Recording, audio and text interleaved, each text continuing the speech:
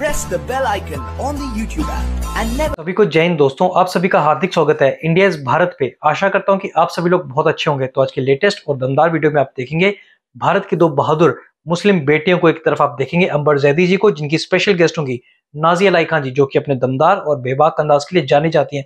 और ये दोनों मिलकर आज मज़हब के ठेकेदारों को जम के धोएँगी और उनको एक्सपोज करेंगी। तो ये वीडियो काफ़ी इंटरेस्टिंग होगी। इसे अंत तक देखें और चैनल पे नए हैं तो चैनल को सब्सक्राइब कर दें ताकि हम आपके लेटेस्ट दमदार और इन्फॉर्मेटिव वीडियोस लाते रहें। तो चलिए पहले ये वीडियो देखते हैं और अंत में इसके बारे में बात करेंगे। जय हिंद जय भारत। ये ताज़ा खबर है महिलाओं को अबॉर्शन का अधिकार दे दिया है। हाँ हाँ हाँ एग्जैक्टली अभी लेटेस्ट खबर है बिल्कुल। चार महीने से अगर कम की प्रेगनेंसी है तो आप टर्मिनेट कर सकते हैं महिला को अधिकार। जी। देखिए बेसिकली ये लोग जानबूझ करके जानबूझ करके ये रिजवान जैसे अगर इस अभी देखिए इसका तो एक एक करके पंथियाँ खुलेंगी ये भी बहुत बहुत बहुत बोला होगा हिजाब के समर्थन में मदरसे के समर्थन में ये बहुत बोला होगा। एकदम बोला होगा। एक सवाल मैं आपसे करना चाहती हूँ वो ये कि हम जब भी बच्चियों की, लड़कियों की, बेटियों की सुरक्षा की बात करते हैं तो चाहे कोई कितना भी करीबी पुरुष हो, उस पर महिलाएँ अपनी बच्ची की सुरक्षा को लेकर इतनी जल्दी भरोसा नहीं करती हैं। महिलाओं पर लोग भरोसा कर लेते हैं कि अरे, महिला है महिला है। अगर बच्ची को मस्जिद में कुरानी की शिक्षा के लिए माँ बाप ने भेजा होगा तो यही सोच के भेजा होगा कि मौलाना या पुरुष कोई अकेला नहीं है, उसकी पत्नी भी है। उसकी मौजूदगी में बच्ची सुरक्षित रहेगी, बच्ची के साथ ऐसा कुछ नहीं होगा। एक महिलाओं के अंदर इस तरह की मानसिकता कैसे आती है कि एक मासूम बच्ची का शोषण होते हुए खुद देखती थी और उसकी पहरेदारी भी करती थी? अमर, इसके तीन तीन तीन तरीके से मैं इसके, इसको आपके व्यूअर्स को समझाऊँगी। पहला, कि लानत है उस मुसलमान माँ बाप पर जिनको दीनी तालीम के लिए अपनी बच्ची को मदरसे भेजना पड़ रहा है या किसी और मौलवी या इमाम के पास या खारी या मुफ्ती के पास भेजना पड़ रहा है। लानत है उस मुसलमान माँ बाप पर। हम, मैं और आप, कुछ भी पूछा जाए अल कुरान से सही अल बुखारी से हम लोग फर्राटे से बताते हैं और लोग जानते भी हैं इस बात को। हम तो नहीं गए मदरसा। हम तो किसी मौलाना इमाम से नहीं पढ़े हैं। हम तो हमें तो अपनी, हमारी माँ ने हमारे घर में बैठ बैठ करके पढ़ाया है।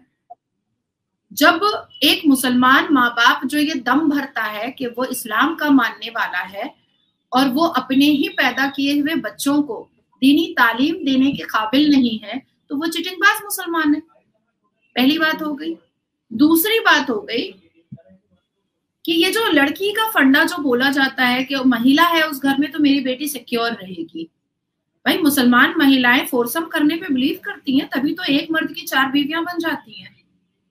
मुसलमान महिलाओं को फोरसम बहुत पसंद आता है। कभी आवाज़ उठाया है? हम आप आवाज़ उठाते हैं तो उसमें हज़ारों आवाज़ जुड़ती है जो नहीं पसंद करती है। पर क्या भारत में, मान लीजिए 20 करोड़ मुसलमान की आबादी है। 20 करोड़ मुसलमान की आबादी इस भारत में है, जो हमेशा छाती पीटा जाता है अब बहत्तर फिरके के 20 करोड़ के मुसलमान की आबादी में हम मान लेते हैं कि सात करोड़ महिलाएँ हैं, मुस्लिम महिलाएँ हैं। क्या सात करोड़ मुस्लिम महिलाओं ने कभी भी एक सुर में, एक आवाज़ में ये कहा कि पॉलीगेमी इमीडिएट बंद करना चाहिए? हम ये नहीं होने देंगे। एक आवाज़ में कभी कहा, हलाला बंद होना चाहिए, हम नहीं होने देंगे।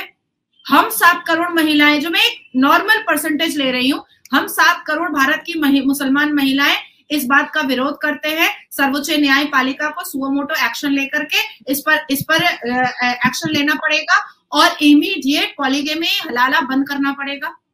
नहीं नहीं आती है सात करोड़ महिलाएँ सामने, सात करोड़ तो छोड़िए, सात लाख भी नहीं आती है। इसका मतलब है, इसका मतलब है अंबर कि मैं बड़ी ज़िम्मेदारी से कह रही हूँ कि हमारे मुसलमान कम्युनिटी में, हमारे मुस्लिम कौम में कई ऐसी महिलाएँ मुसलमान हैं जिनको फोरसम पसंद है जिनको ससुर के साथ भी हलाला के नाम पर सोना पसंद है सेक्स करना पसंद है देवर के साथ भी जेठ के साथ भी और शौहर के साथ भी। पसंद है? क्यों? हमें तो नहीं पसंद। और जिन और ज, हमारे साथ ये चीज़ें हुई भी नहीं पूरे खानदान के साथ नहीं हुई। लेकिन फिर भी हम जब दूर से सुने और ऐसे केसेस को देखे तो हमने तुरंत एक एक्शन लिया और लीगल एक्शन लिया under the barricade of law लिया कि इसको बंद होना चाहिए ये तो घिनौनी चीज़ है। ये तो अश्लीलता वाली चीज़ है। तो हमने तो हमें जो चीज़ बुरी लग रही है, वो लग रही है। लेकिन आखिर सात करोड़ मुसलमान महिलाओं को इस भारत में क्यों नहीं बुरी लग रही है?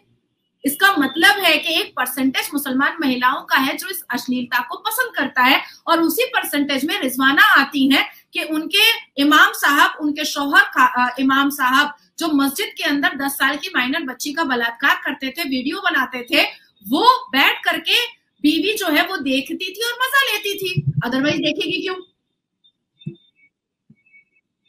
बिल्कुल आपने सही कहा कि अगर वो पहरेदारी कर रही है और देख रही है तो कहीं ना कहीं समर्थन पूरा हासिल है या उनको पता नहीं इसके पीछे क्या क्या उद्देश्य है, मानसिकता है। तो आशा करता हूँ कि वीडियो को आपने अंत तक देखा होगा और अंबर जैदी और नाजी लाइक खान जी का ये पूरा डिस्कशन आपको काफ़ी पसंद आया होगा और इस वीडियो में आपको बहुत कुछ जानने को मिला होगा जहाँ पे आपने देखा खुद मुस्लिम होकर इन दोनों मुस्लिम बहादुर महिलाओं ने कैसे एक्सपोज किया मदरसे के मौलवियों को? जैसे बताया कि मदरसे में ना लड़कियाँ सुरक्षित हैं, ना लड़के सुरक्षित हैं। और बात की रिजवान और रिजवाना केस के बारे में, जो खुद मियाँ बीवी होके एक दस साल की बच्ची का यौन शोषण करते थे और रिजवाना उसकी वीडियो बनाया करती थी।